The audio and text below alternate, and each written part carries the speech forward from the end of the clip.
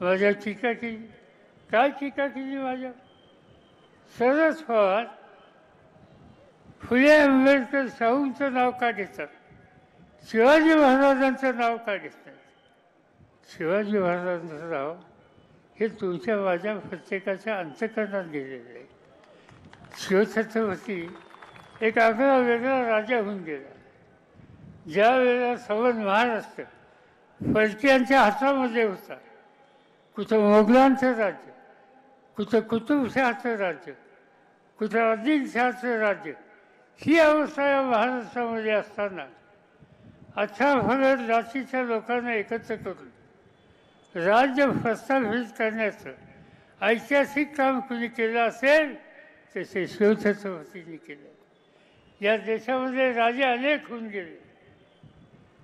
चंद्रगुप्त मौर्याचं राज्य होऊन गेलं.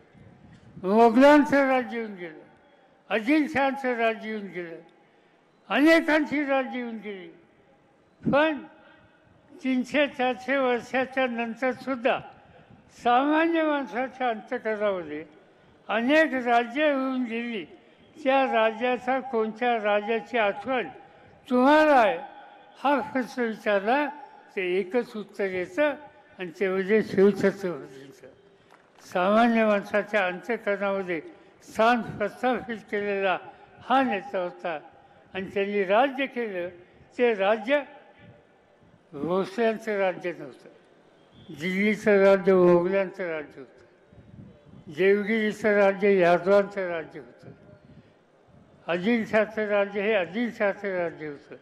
शिवाजी महाराजांचं राज्य भोसल्यांचं राज्य नव्हतं.